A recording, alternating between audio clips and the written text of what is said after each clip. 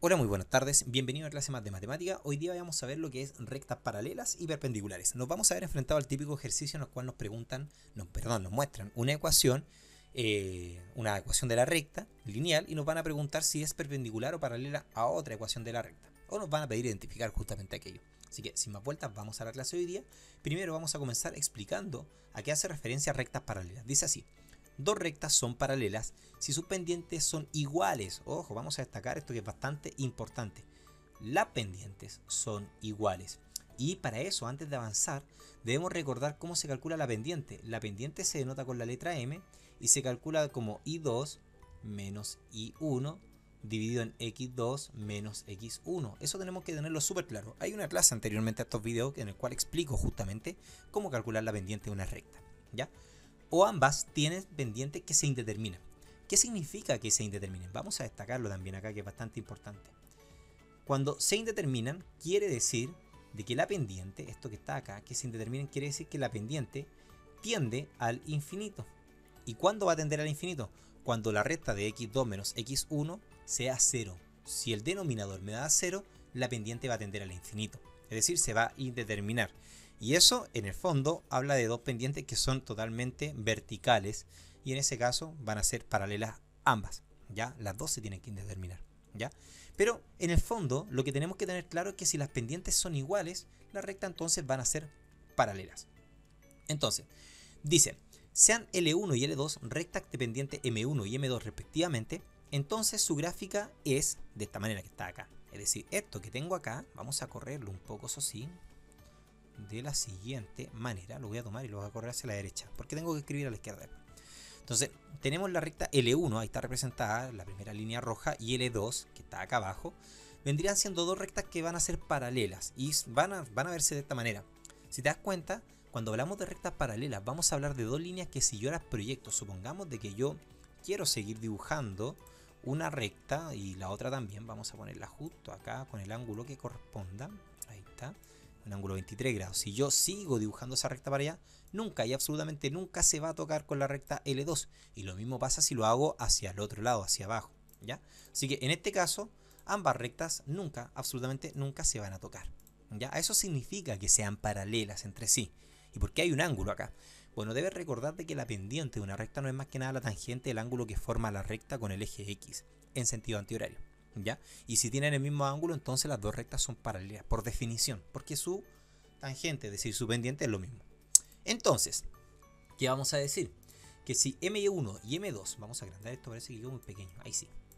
Si M1 y M2 pertenecen a los reales, ok, digámoslo en palabras simples, M1 y M2 son números, ¿ya? Son números que no son imaginarios, por si acaso son números, pueden ser decimales, pueden ser números enteros, son números, ¿ya?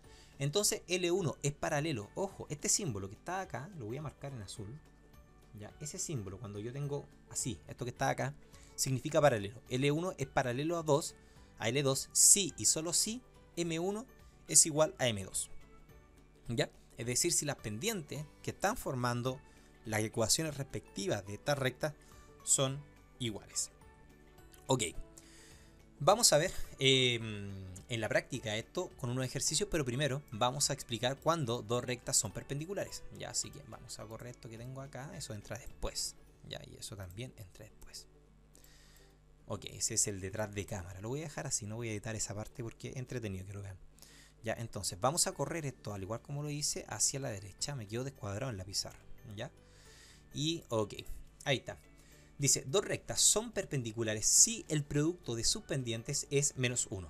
O cuando en una de las rectas la pendiente es 0 y en la otra la pendiente se indetermina. ¿Por qué? A ver, ¿qué pasa cuando la pendiente es 0? Cuando la pendiente es 0, estamos hablando de una línea totalmente horizontal, sin pendiente. ¿Ya? Y la otra se va a indeterminar cuando es totalmente vertical. Entonces, en ese caso son perpendiculares porque forman un ángulo 90 grados. Y justamente eso significa que sean perpendiculares. Es que la apertura que forma el ángulo entre ellas dos es de 90 grados. ¿Ya? Y cuando una se indetermina y la otra tiene pendiente 0, justamente va a dar esto que tengo acá. Pero cuando no, por ejemplo en este caso, que ninguna se indetermina y ninguna tiene pendiente 0, la multiplicación, es decir, el producto, porque hablamos de producto, es decir, la multiplicación de su pendiente es menos 1. ¿Ya? Sea L1 y L2 rectas dependientes M1 y M2 respectivamente, entonces su representación gráfica va a quedar así. Esto representa justamente dos pendientes perpendiculares, forman un ángulo de 90 grados acá, ¿ya? Ok, entonces, ¿qué es lo que va a pasar? Nos van a decir, si M1 y M2 justamente pertenecen a los reales, al igual que en el ejercicio anterior, entonces L1 es perpendicular. Este símbolo que estoy poniendo acá significa perpendicular. L1 es perpendicular a L2 si y solo si el producto de M1 eh, y M2 es menos 1. ¿Ya? Ok, sabiendo justamente aquello, es decir, sabemos que el producto acá tiene que dar, perdón, eh, las pendientes tienen que ser iguales, y acá en este caso sabemos que el producto justamente entre las pendientes tiene que ser menos 1, vamos a hacer ejercicios. ¿Ya? Dice, ¿cuál de las siguientes rectas son paralelas a la recta de la figura? Vamos a hacer esto un poquito más grande. Ahí sí. ¿Cuál de las siguientes rectas es o son paralelas a la recta de la figura?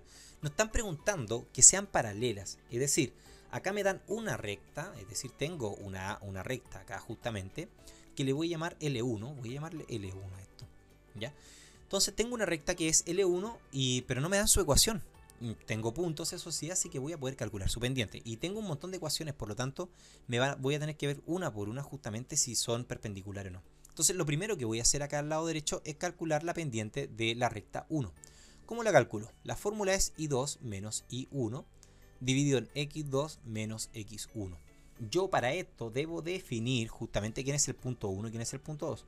Voy a definir el punto que está acá abajo como el punto 1 y voy a definir el punto que está acá como el punto 2. Y los puntos tienen coordenadas, por si acaso. Las coordenadas del punto 1 en el eje X es menos 5 y en Y es 0. Ya, menos 5 y 0 porque no tiene elevación en Y.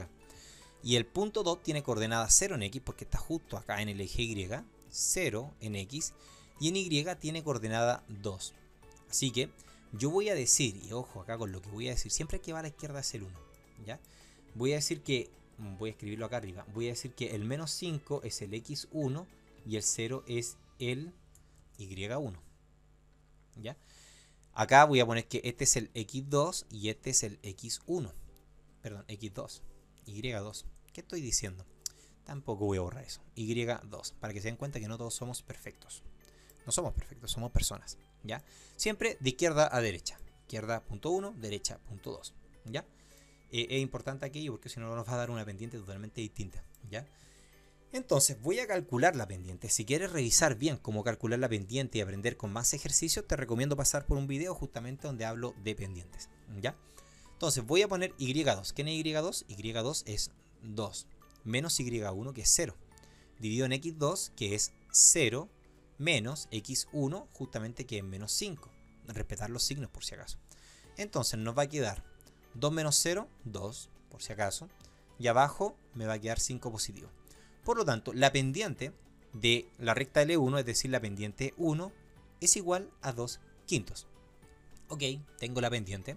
Y ahora, ¿cómo puedo averiguar la pendiente de las ecuaciones que me están dando acá? Lo voy a hacer de la siguiente manera. Voy a, voy a hacer un pequeño así. Voy a hacer dos rectas paralelas, ¿ya? Y voy a empezar con la letra A. Ya voy a empezar con la letra A, voy a escribir la ecuación de la letra A, que está acá, la voy a reescribir menos 2x más 5y igual a 0. Y debo escribir esta ecuación de la forma principal. También, hace unos días publiqué un video donde escribo la fórmula, una ecuación de la recta de la manera general y la fórmula principal en este caso. Por lo tanto, esa forma de la cual debo escribir la ecuación es de la siguiente manera. La voy a escribir acá arriba.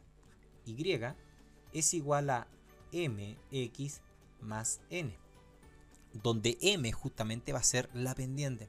Así que debo escribir eso de esta manera que tengo acá arriba. De eso es lo que debo hacer. Por lo tanto, ok, sé que la y va al lado izquierdo de la ecuación, así que el 5y lo voy a dejar al lado izquierdo. Y el 2x, que está negativo, va a pasar positivo. Así que me da 2x. Y el 0, bueno, el 0 es un neutro aditivo, así que no hace nada. Ok, pero debo dejar la y sola, así que justamente me va a quedar y es igual a 2 x partido en 5. Y esto lo mismo que decir, por ejemplo, voy a eliminarlo, voy a decir que 2 dividido en 5 multiplicado por x. Tiene, eh, bueno, este pasa por el origen justamente. Y me da que la pendiente, en el caso de la letra A, voy a ponerle pendiente de A, es igual justamente a 2 quintos. Es el número que acompaña al x, es la pendiente. Y si te das cuenta, puedo decir de que la pendiente de A es igual a la pendiente de 1. Por lo tanto, ambas rectas, puedo decir de que la recta A es, paralela a la recta M1, a la recta, perdón, a la recta L1. ¿Ya? Así que la letra A es paralela.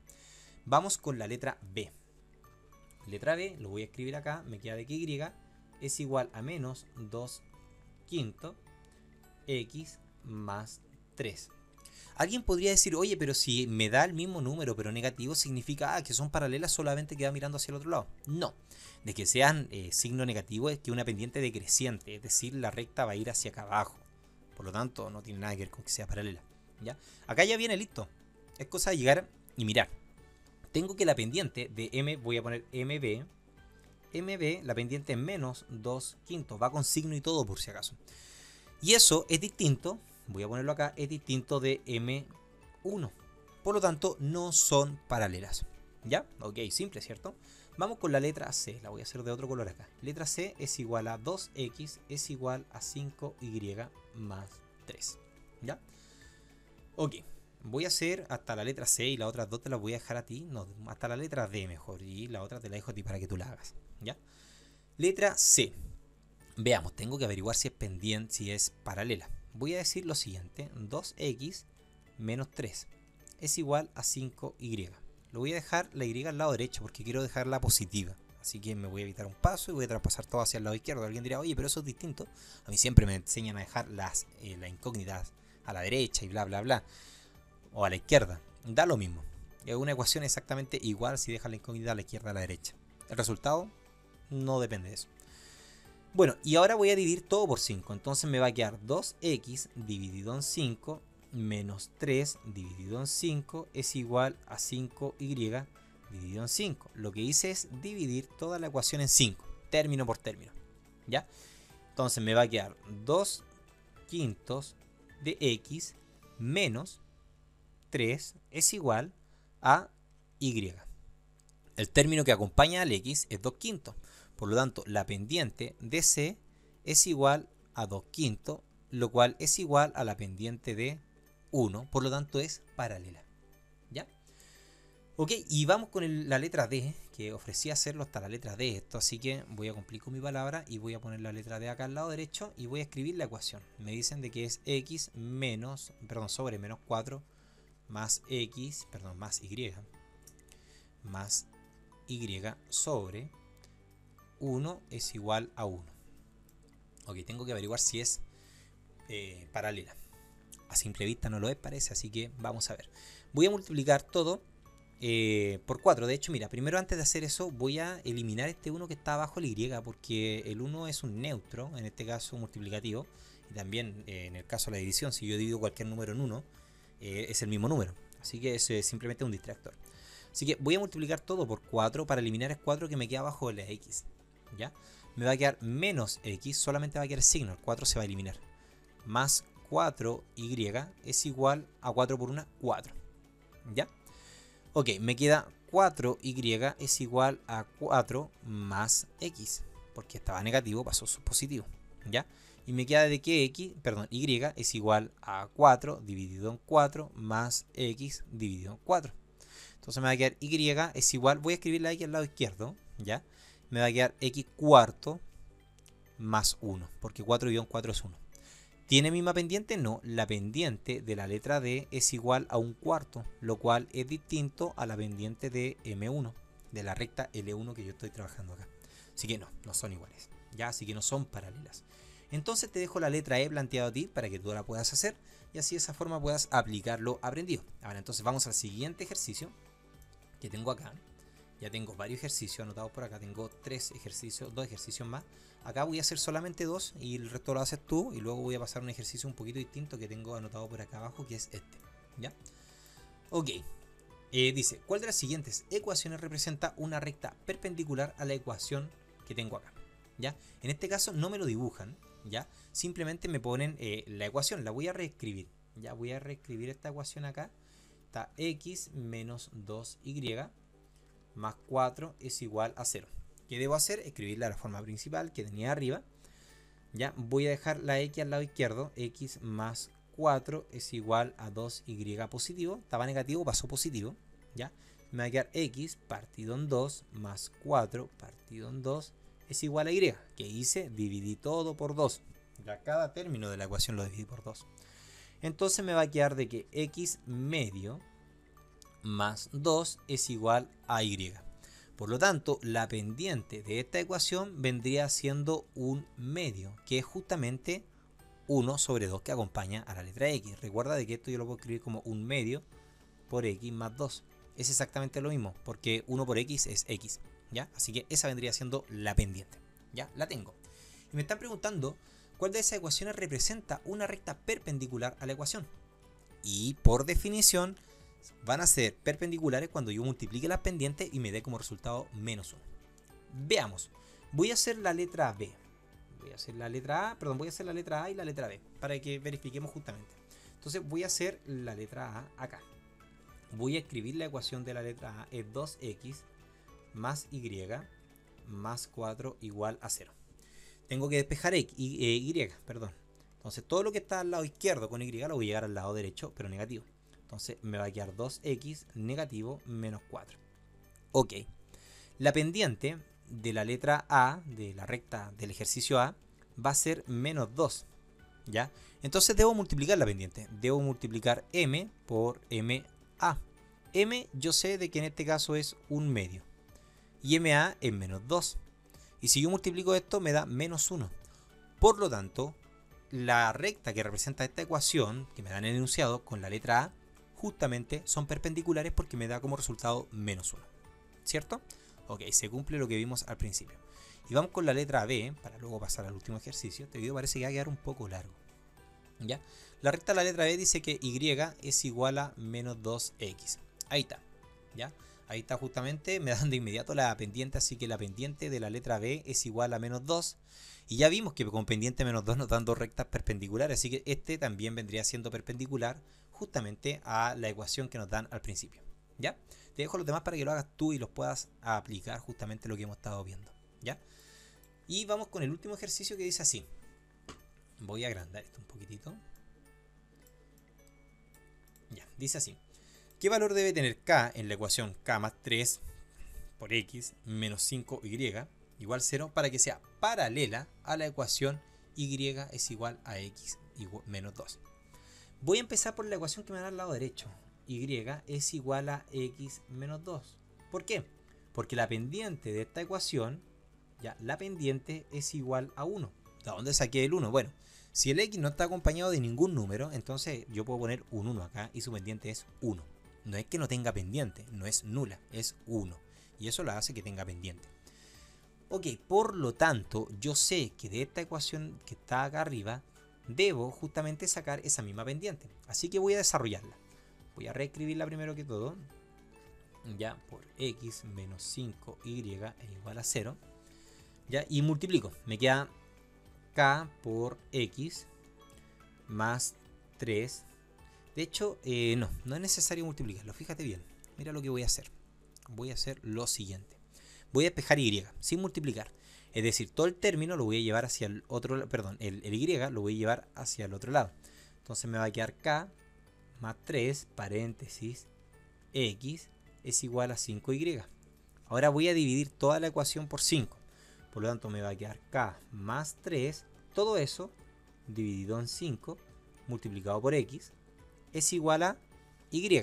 Porque en el fondo 5 dividido en 5 me da 1 yo sé que el número que acompaña a la x es la pendiente.